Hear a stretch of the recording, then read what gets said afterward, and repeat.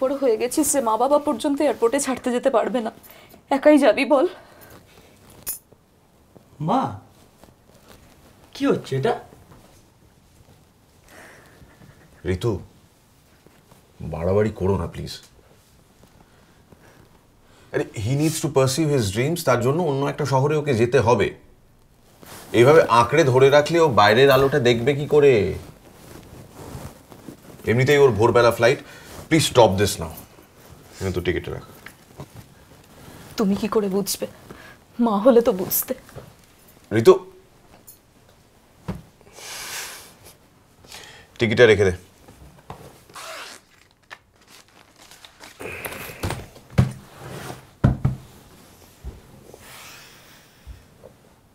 ভয় করছে।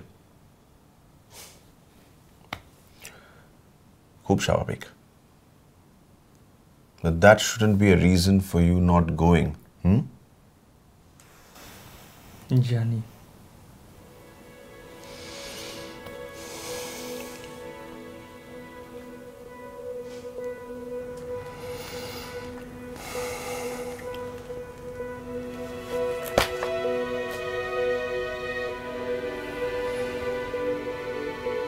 বাবা কি ঘুমিয়ে পড়েছেন ঋতু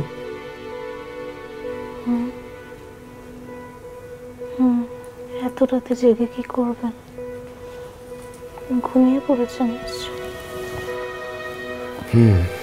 কেন? না কিছু না।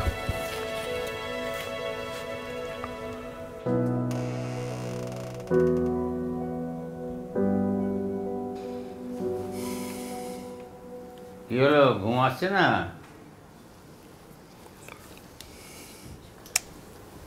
আয়। ঘুম ভাঙালাম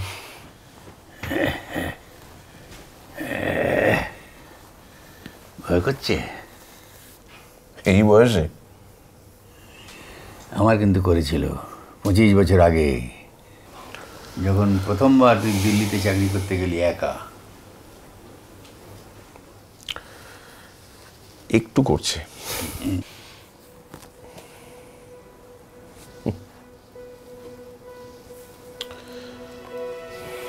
জানো বাবা, প্রথমবার যখন সাইকেল চালানো শিখিয়েছিলে ব্যালেন্স রাখতে না পেরে পড়ে গিয়েছিলাম কতবার। তখনকার একটা কথা আজও ভুলিনি। যতবার পড়ে যেতাম, তুমি তখন বলতে, কিচ্ছু হয়নি, উঠে পড়। তারপর জোরে ঠেলে দিয়ে আবার সাইকেলে আমাকে ছেড়ে দিতে। সেই সময় খুব ভয় করতো আমার। তোমার উপর রাগও হতো, অভিমানও হতো। যে তুমি সবটা জানো, তা সত্ত্বেও আমায় একা ওই সাইকেলে ছেড়ে দিচ্ছ। তারপর প্রথমবার যখন পড়লাম না, সামলে নিলাম। সেই সময় দূরে দাঁড়িয়ে থেকে তোমার মুখের এক্সপ্রেশনটা আজও ভুলিনি। যেন তুমি আবার নতুন করে সাইকেল চালানো শিখেছো। একটা কথা বলি। এই যে একা ছাড়ার ডিসিশনটা নেওয়া না, অত সহজ নয়। অনেক ভয় থাকে অ্যাংজাইটি থাকে। কারণ একা চলাটা শুধু সন্তানের জীবনে শুরু নয় তো। প্যারালালি বাবা মার জীবনেও তো শুরু। তো একজনকে তো ডিসিশনটা নিতে হবে। আর এই ডিসিশনটা নেওয়াটা কঠিন হয় কখন জানিস? যখন ভেতরের তোলপাড়গুলোকে লুকোতে হয়। প্রকাশ করতে পারলে সহজ হয়। কিন্তু প্রকাশ করাটা খুব কঠিন।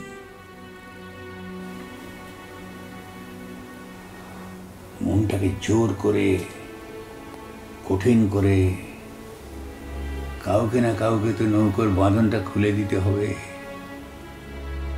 আর এসব বাবারাই করে।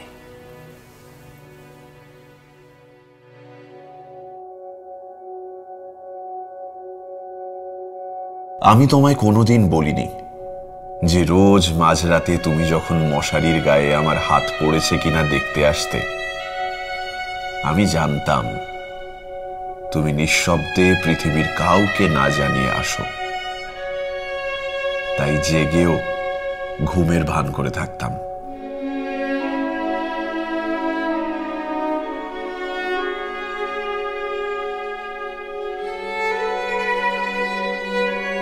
মোহাম্মদ রফির গান নাকি বড় ভালো গাইতে।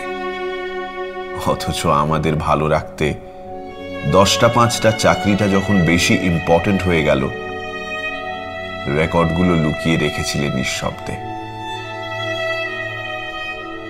রোজ পকেট থেকে টাকা সরে যেত জেনেও কোনো দিন টাকা রাখার জায়গাটা পাল্টাওনি।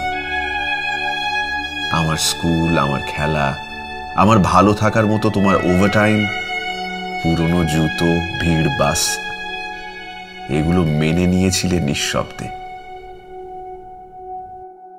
যত বড় হয়েছি, তুমি বুঝবে না ভেবে মায়ের সাথে ভাগ করেছি সবটুকু। অথচ আজ বুঝি, প্রথমবার আমার ব্রেকআপের পর কেন হঠাৎ দার্জিলিং এর টিকিট কেটে বলেছিলে ডিসকাউন্টে পেয়েছ।